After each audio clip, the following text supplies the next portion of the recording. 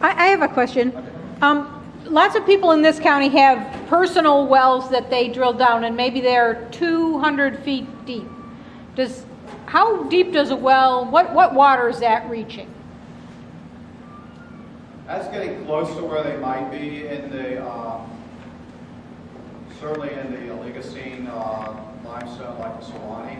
Is that what, do you think, they're- are they getting, uh, part of, you would be able to tell if you'd hit the upper floor Florida aquifer because you'd get artesian conditions, it would, the the water would, uh, would, would- would blow out or would, you know, rise up to the surface.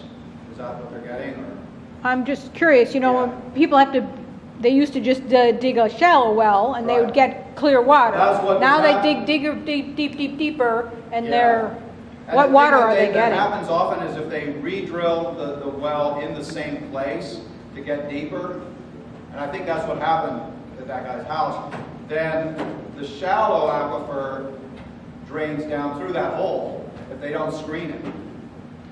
So they lose all that shallow aquifer down into the, into the Florida, and that causes then subsidence around it. I mean, I, I think, I'm pretty sure that's what he did, because he told me that's what happened. They, the first people came out and they, they drilled it and it wasn't uh, flowing, so then he had them come again and they re-drilled it.